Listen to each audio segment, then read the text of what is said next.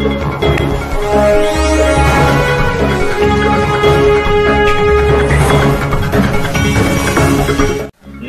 दोस्तों, मैं विलास तुलपुड़े और आप देख रहे हैं आपका पसंदीदा web news channel Supreme Power आइए एक नज़र डालते हैं आज की मुख्य खबरों पर। खबर महाराष्ट्र के नागपुर से।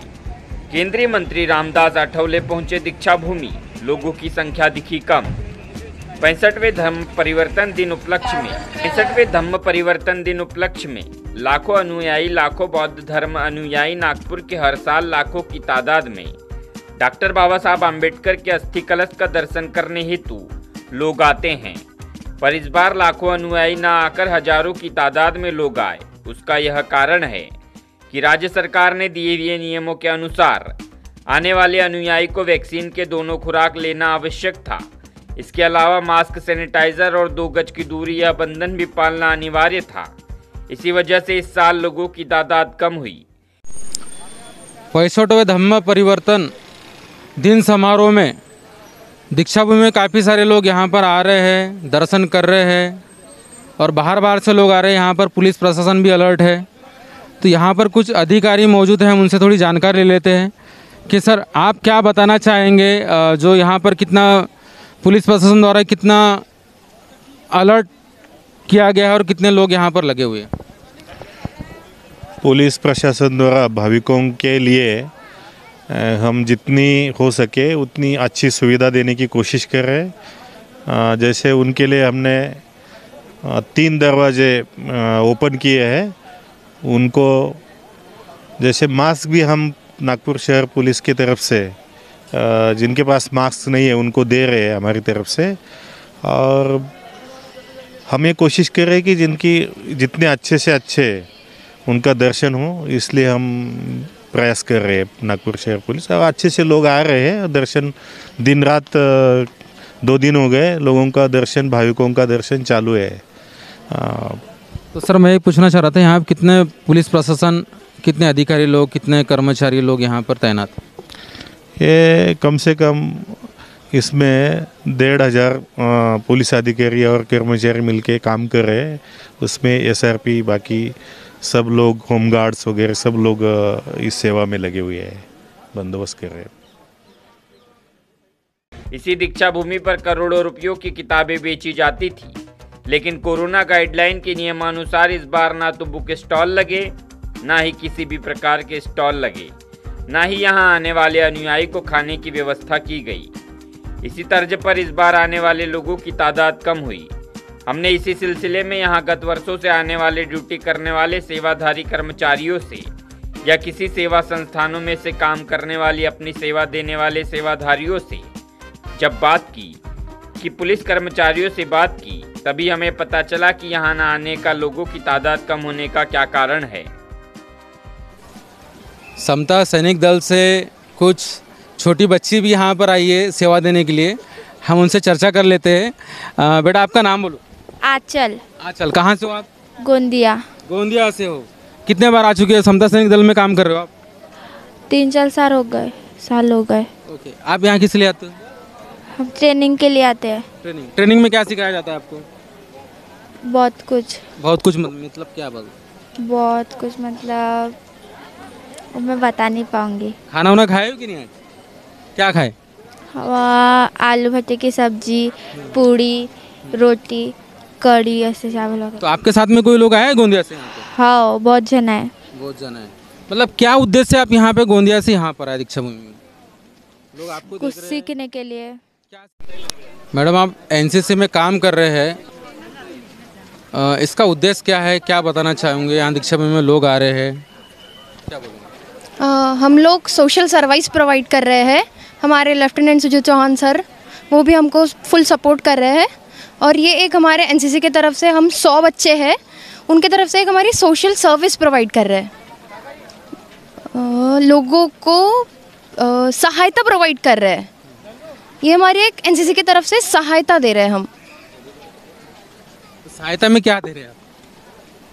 मतलब मास्क प्रोवाइड कर रहे है पानी प्रोवाइड कर रहे हैं उनको एक डायरेक्शन दे रहे हैं सही से कोविड को देखते हुए स्टेप ले रहे हैं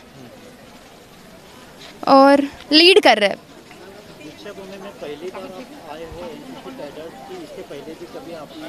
हर साल हम ये प्रोवाइड करते हैं।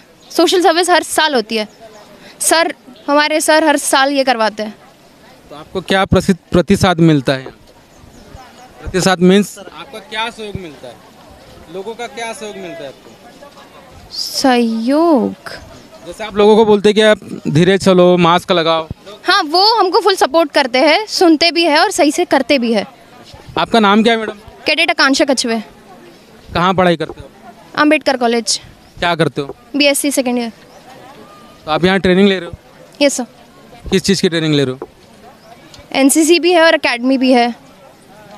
तो एनसीसी का मतलब एनसीसी में क्या करते हो? एनसीसी किस लिए किया जाता है? एनसीसी बहुत सारी चीज़ों के लिए किया जाता है। जैसे आर्मी में अगर आपको जाना है तो आप आर्मी के लिए भी ट्राई कर सकते हो। जैसे अगर किसी को उसमें इंटरेस्ट है तो वो उसके लिए भी कर सकता है। ऐसे जाए देखा जाए तो डिफेंस के लिए ज़्यादा करते हैं। टाइम क्राउड काफ़ी था। इस बार कोविड के चलते कोविड को देखते हुए लोग सही से चल रहे हैं और क्राउड थोड़ा कम है। हाँ। हाँ सोशल डिस्टेंसिंग से भी चल रहा है और मास्क भी लगाया हुआ है। हाँ। पहले तो सुप्रीम पावर को एनएसएस दिल से आ, हम राष्ट्रीय सेवा योजना के स्टूडेंट हैं डॉक्टर अंबेडकर महाविद्यालय दीक्षा भूमि से।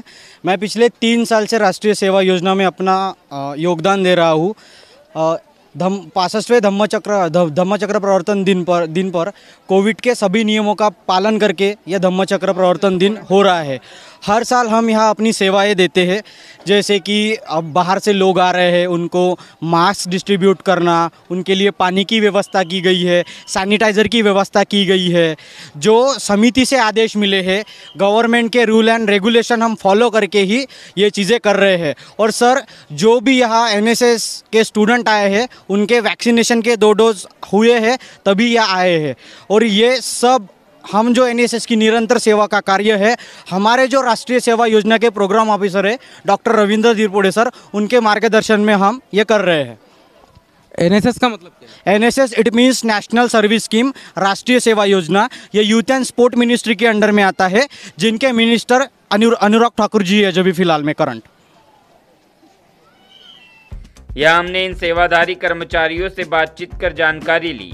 आज सुबह केंद्रीय मंत्री रामदास आठवले, इन्होंने भी आकर दीक्षा भूमि पर डॉक्टर बाबा साहब अंबेडकर जी के स्तूप में अस्थि कलश का दर्शन लिया। सुप्रीम पावर न्यूज़ के लिए नागपुर से दुर्गा प्रसाद बर्वे की रिपोर्ट। खुश आहे मन, कारण आजचा आमच्यासाठी फारच आनंदाचा आहे क्षण. डॉक्टर बाबासाहेब आंबेडकरांनी चौदा ऑक्टोबर एकोणीसशे छप्पनला बौद्ध धम्माची दीक्षा घेतली होती. आणि त्याच्या पाठीमागे भावना एवढीच होती की भारत देश एक झाला पाहिजे.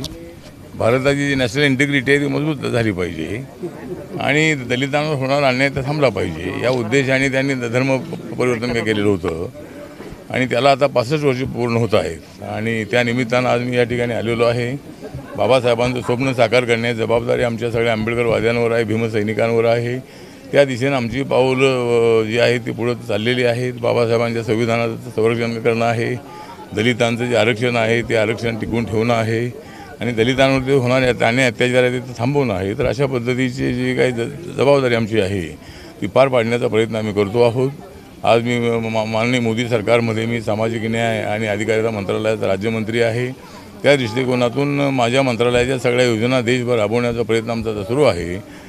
आणि बाबासाहेब आंबेडकर एक मोठं व्यक्तित्व आहे. माने नरेंद्र मोदीजी बाबासाहेबांना मानतात. त्यांच्या एकशे पंचवीसाव्या जयंतीच्या निमित्तानं दोन दिवसाचं स्पेशल अधिवेशन पार्लमेंट ठेवलं होतं. त्यानंतर जनपद रोडवर डॉक्टर आंबेडकर इंटरनॅशनल सेंटर झालेलं आहे. छब्बीस अलीपूर रोडला एक अत्यंत सुंदर अशा पद्धतीचं बाबासाहेबांचं मेमोरियल त्या ठिकाणी झालेलं आहे.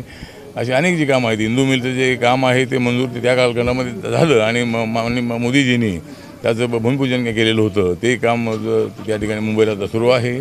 अशा पद्धतीनं बाबासाहेब आंबेडकरांची आठवणी जी आहे त्या आठवणी जिवंत ठेवण्याचं काम सातत्यानं आम्ही क- करतो आहोत आणि बाबासाहेबांचं स्वप्न साकार झालंच पाहिजे अशी आमची भूमिका आहे. भारत के दस राज्यों में तेजी से बढ़ रहे आपके अपने वेब न्यूज चैनल को सब्सक्राइब कीजिए और पाए अपने आसपास की तमाम मुख्य खबरें अपने ही मोबाइल पर क्योंकि सुप्रीम पावर करता है मुद्दों की बात, जिनसे है जनता का सीधे सरोकार। समझौता नहीं, पहल चाहिए।